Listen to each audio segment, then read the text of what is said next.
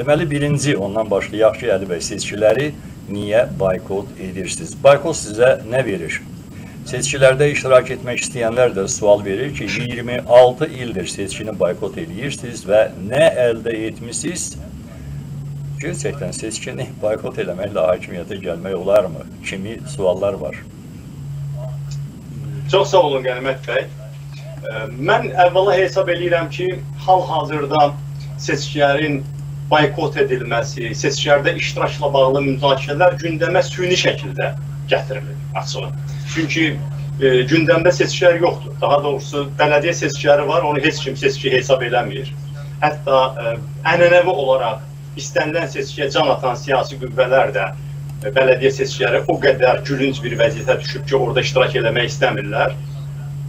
Parlament seçkilərinə isə çox qalıb. Bir ildən də artıq vaxt qalıb.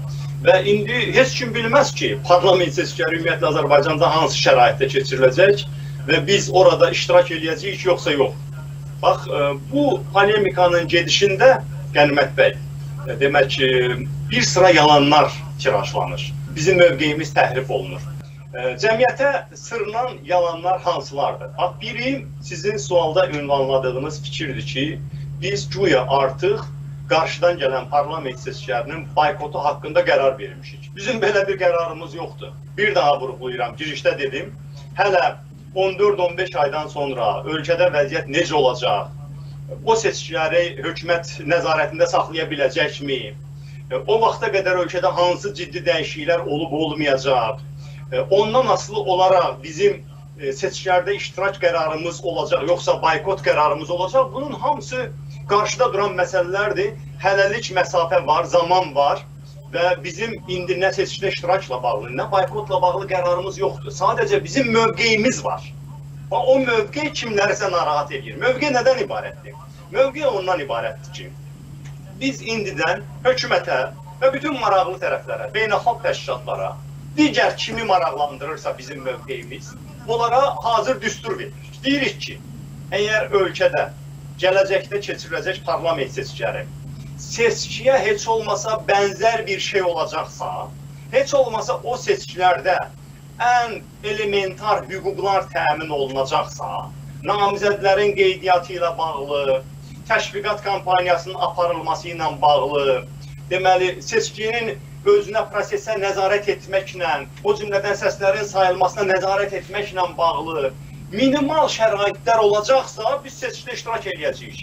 Yəni o seçkinin bir intriqası olacaqsa, o seçkinin nəticəsi əvvəlcədən bilinməyəcəksə, o seçkidə nəyisə udmaq mümkün olacaqsa, biz orada olacağıq. Yox, əgər seçki elə planlaşdırılacaq, elə təşkil olunacaqsa ki, orada əvvəlindən axırına qədər bütün proses, məsələn 2015-ci ilin parlament seçkiləri axırıncı seçki olub və 2018-ci ilin prezident seçkilərində olduğu kimi bütün mərhələlərdə proses hökumətin sərt nəzarəti altında olacaqsa, seçki komissiyaları köhnə tərkibdə qalacaqsa, seçki qabağı vəziyyət dəyişməyəcəksə, təşviqat imkanları olmayacaqsa, seçki qutularına nəzarət imkanları olmayacaqsa və seçki seçkidən çox bir tamaşa olacaqsa və sadəcə olaraq hakimiyyətin legitimləşməsinə xidmət edəcəksə ki, güya Azərbaycanda da seçkili hakimiyyət var. O zaman biz bu tamaşada rol alıb hakimiyyətin imitasiyasına kömək etməyəcəyik ki, o hansısa maraqlı dairələrə özünü demokratik kimi güya göstərə bilsin. Bu mövqedən düz adamlar narahat olmalı deyillər. Hökumət narahat olmalıdır. Hökumətə canı yanan adamlar narahat olmalıdır. Amma müxalifətdə olan adamlar bu mövqedən narahat olmamalıdırlar. Növbəti həqiqətə uyğun olmayan deməli fikir, yalan. Güya ki, biz elə indiyə qədər 26 ildə demək bütün seçkiləri boykot eləmişik. Tamamilə yalan fikirdir. Bunu biraz da qabağa aparırlar. Az qala ölkədəki vəziyyətin indiyə qədər dəyişməməsinin səbəbini bizim aparıcı müxalifət qüvvələrinin seçkiləri boykot eləməsində görüb təqdim edirlər. Bu açıq yalandır. Mən faktlara müraciət edəcəm, amma ondan əvvəl demək istəyirəm ki, bilirsiniz, bu belə şeylər, belə yalanlar həm də olduqca ziyanlıdır ümumi işimiz üçün. Niyə görə? bilirsiniz, diqqət hökumətdən ayrılıb müxalifətə gətirilir. Güya ki, güya ki, ölkədə indiyə qədər müxalifətin hansısa addımı başqa cür atılsaydı, sülalə hakimiyyəti olmazdı, demokratiya olarmış. Amma müxalifət hansısa addımları səhv elədiyinə görə nə zamansa seçkiyə getmək lazım imiş, getməmişik. Yaxud da getməmək lazım imiş, getmişik. Nə zamansa mitinqi razılıqla keçirmək lazım imiş, biz razılaşdırmamış keçirmişik. Ya da nə zamansa güya e, razılaşdırılmamış mitinqə getməmişik, ona görə olub. Bu yalandır və hökuməti məsuliyyətdən yayındırır. Bilirsiniz, biz burada danışırıq bütün respublika prinsiplərinin ayarlanmağından. Ölkədə bütün iqtisadiyyatın, siyasətin, hüququn hamısının bir ailənin tapdağında olmağından danışırıq. İndi o barədə də yəqin imkan olacaq danışmağa. Bizim konstitusiyanı neçə dəfə bir ailə üçün dəyişiblər. Konstitusiya belə bunların xidmətindədir hal-hazırda. Parlamentarizm, məhkəmə hakimiyyəti, siyasi partiyalılıq, hər şey məhv edilib. Amma bir adamlar, bəzi adamlar belə təqdimat verməyə çalışırlar ki, güya indiyə qədər ölkədə demokratiya ona görə bərqərar olmayıb ki, hansı mərhələdəsə hansısa müxalifətçi hansısa düzgün qərarı verməyib, ona görə də biz qalmışıq bu əsarətdə. Elə deyil, əziz həmvətənlər. Bəlkə də biraz fərqli addımlar atıla bilərdi. Amma nəticə etibarilə bizim seçkidə iştirak yox, yaxud boykot eləməyimizlə bu ata-oğul hakimiyyətinin 26 il uzanmasının arasında əlaqə yoxdur. Konkret fakta keçək. Biz indiyə qədər ata-oğul Əliyevlərin dövründə keçirilmiş 5 parlament seçkilərinin yalnız birini boykot eləmişik.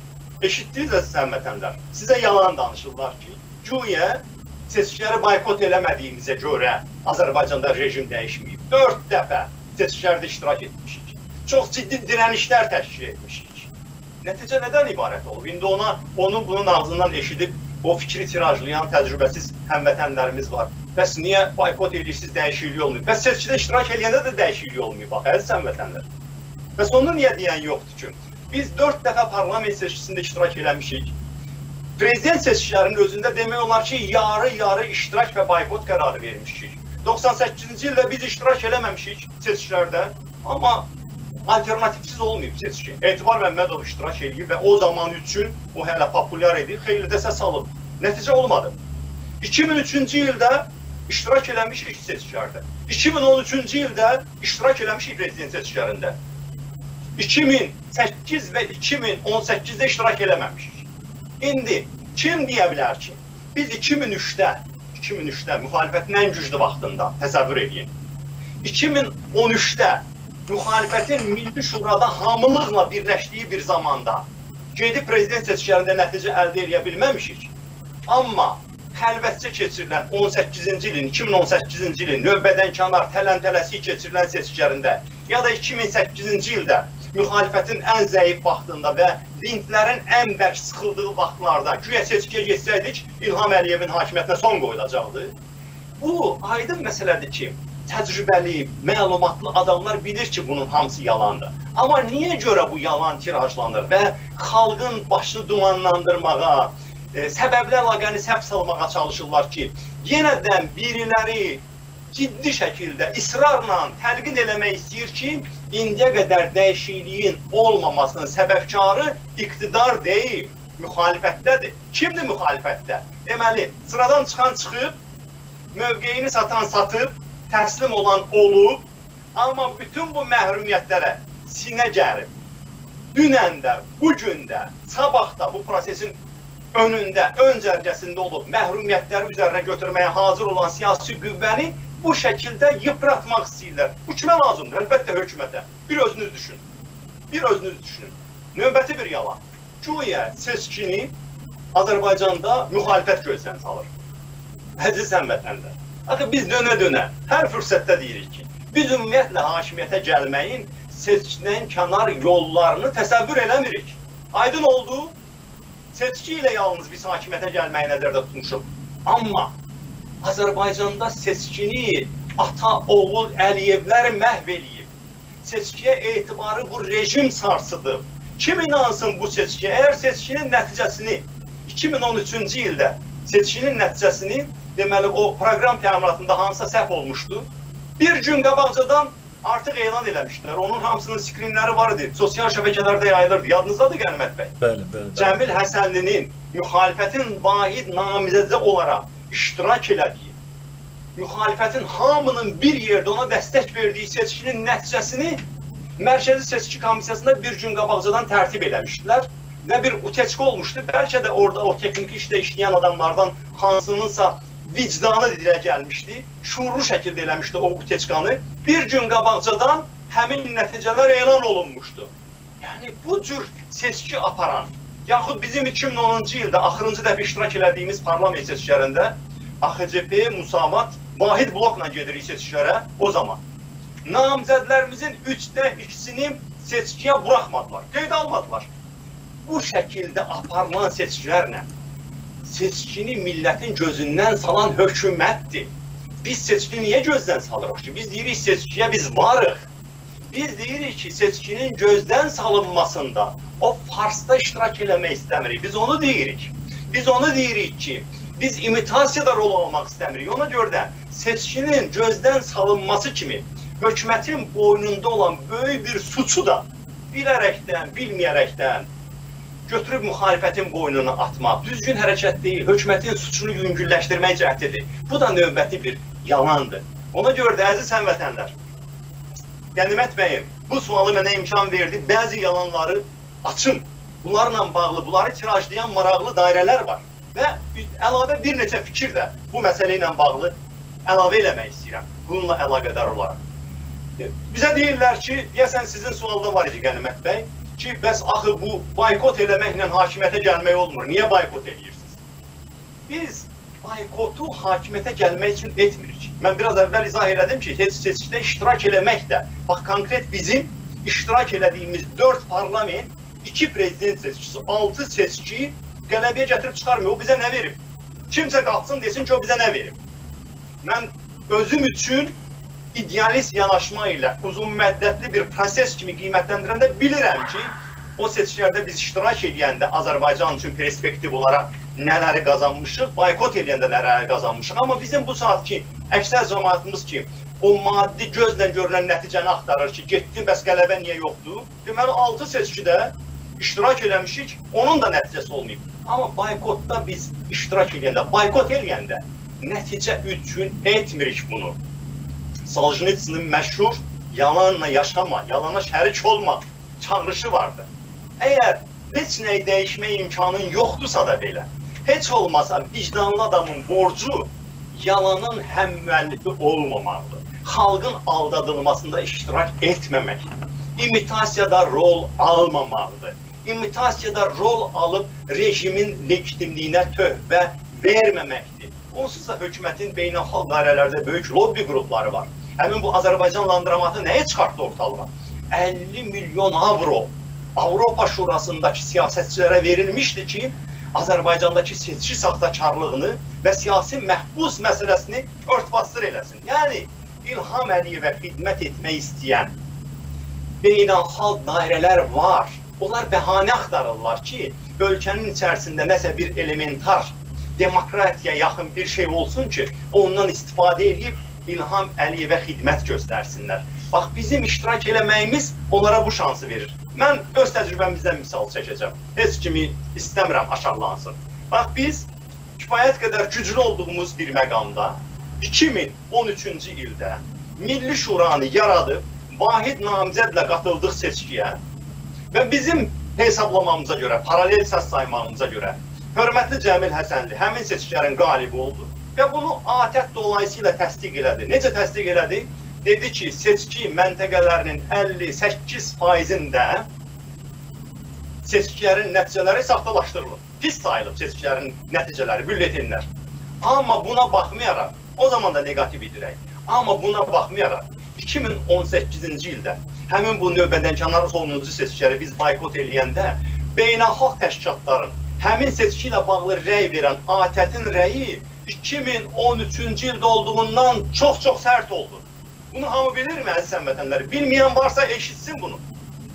Bəlkə imkan olsa, bilmirəm, qənimət də başqa bizim dostlar bu məsələləri e, cəmiyyətə daha ətraflı hesabatlarla çatdırmağa bir proqramlar həsr eləsinlər. Baxın, hamımız bir yerdə, bütün müxalifət bir yerdə Cəmil Həsənini dəstəkləmişik. ATƏT belə təsdiq edib ki, məntəqələrin 58 faizi saxtalaşdırılıb, amma yenə orada müsbət bir məqam kimi tapmışdılar ki, burada müəyyən bir yarış elementi olub.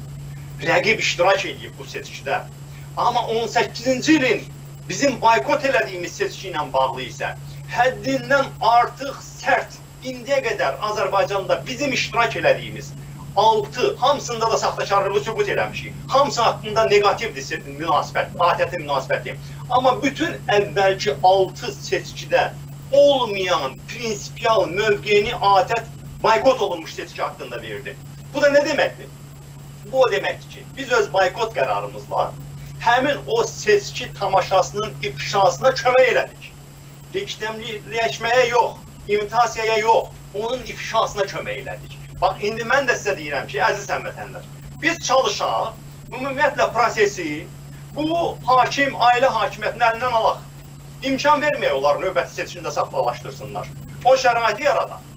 Bizim prinsip etibarıyla yazda nəzərdə tutduğumuz mitinqlərin əsas tələbi azad seçki, seçki islahatı idi. Payızda da bizim tələbimiz olacaq bu tələb. Biz çalışaq bu prosesi tərpədək və prosesi hökumətin əlindən alaq. Yox, hər hansısa səbəbdən ala bilmiriksə, heç olmasa onu ifşa eləyək. Hansı məqsədlə bizi sövq edirlər? Müxtəlif şantajlarla sövq edirlər ki, yox, mütləq gedib siz bu tamaşada rol almalısınız. Axı biz e, əvvəl bunu görmüşük. Və yer gəlmişkən, bir halda ki, bu barədə danışdıq, bir məhərsəliyə də Qənimət bəy toxunmaq istəyirəm. Deməli, seçkidə iştirak eləmək yaxşıdır, boykot eləmək pisdir kimi. Yaxud boykot eləmək yaxşıdır, iştirak pisdir kimi bir qayda yoxdur. Nə bizim təcrübəmizdə, nə dünyanın və yer gəlmişkən bəzi az məlumatlı adamlar bunu bizə irada tuturlar. Bəs filan vaxt iştirak edirdin, indi bəs niyə boykot edirsən? Çox aydın, başa düşmək istəyən həmvətənlərimizə aydın şəkildə izah edirəm. Hansı zamanlarda iştirak eləmişik? Az çox mübarizə şansı olan, heç olmasa sərbəst toplaşma azadlığının olduğu, regionlarda mitinqlər, Bakıda mitinqlər, televiziyada təbliğat, seçki komissiyalarında nümayəndələrimizin olduğu vaxtlarda biz qatılmışıq seçkilərə. Aydındır, əziz həmvətənlər. Biz niyə görə o boyda saxtakarlığı görə-görə 2000-ci ildə görmüşdük biz o saxtakarlığı, 98-də görmüşdük. Amma biz 2003-ün seçkilərinə qatıldıq. Biz 2005-in seçkilərinə qatıldıq. 2013-də qatıldıq. Bəs nə zaman qatılmadıq? Axırıncı dəfə parlament seçkilərində 2010-cu ildə qatılanda biz seçkilərə 3-də 2 namizədimizi heç seçkinin kandarından buraxmadılar, qeydə almadılar və ona görə də biz son seçkiləri boykot eləmişik və yeri gəlmişkən son seçkiləri hamı bizimlə bərabər boykot edib, hətta ATƏT də boykot edib. Deməli, seçkilərdə iştirak eləmək konstruktivlidir, yaxşı hərəkətli kimi bir qayda yoxdur. Elə məqam olur ki, hətta ATƏT belə seçkini boykot edir. Konkret fakt deyirəm ki, 2015-ci ilin parlament seçkilərinə ATƏT müşahidəçi göndərməkdən imtina elədi. Niyə görə imtina elədi? Dedi, heç müşahidə aparmaq imkanı yoxdur. Mən gedib üzərimə götürməyə, yerinə yetirə bilməyəcəyim vəzifəni üzərimə götürmürəm. Ona görə də, əziz həmvətənlər, bu məsələdə diqqətli olun. İctimai rəyin manipulyasiyasına imkan verməyin. Biz hər şey eləyirik ki, ölkədə dəyişiklik sürətlənsin. Əgər buna gücümüz çatmırsa belə, o zaman heç olmasa hökumətin vəziyyətini yaxşılaşdırmayaq. Bax, bizim qaydamız budur ki, dəyişə bilirsən, dəyiş. Dəyişmə imkanın yoxdursa, heç olmasa vicdanlı mübarizə apar və onlara kömək eləmə. Onlara kömək eləmək lazım deyil. Onlara kömək eləmək bizi ləngidir. Ona görə də bizim bu məsələ ilə bağlı yanaşmamız budur.